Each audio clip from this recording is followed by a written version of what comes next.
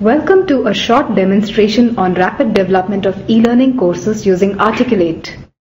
If you need to train your employees spread across a wide geographical area, CommLab India can develop rapid e-learning courses using the tool Articulate.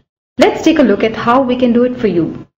Articulate contains three powerful tools. They are Articulate Presenter, Articulate Engage and Articulate Quizmaker.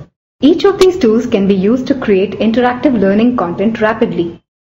Articulate Presenter uses PowerPoint as the authoring interface, so your existing PowerPoint presentations can be quickly transformed into amazing slide presentations. Images, videos, narration or charts can be creatively integrated to create great e-learning content. Here are a few screenshots of our courses that were developed using Articulate Presenter.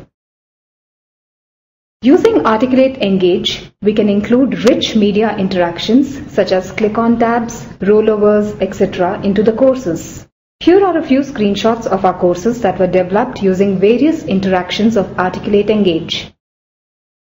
You may have different parameters on which you wish to test your learners. Using Articulate Quizmaker, CommLab India can create customized quizzes, assessments or wizards as per your individual needs.